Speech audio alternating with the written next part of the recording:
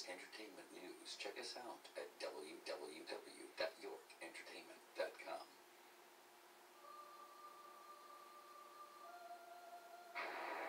Three feet tall.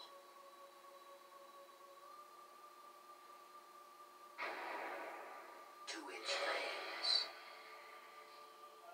An undying thirst for blood. Only one has the power to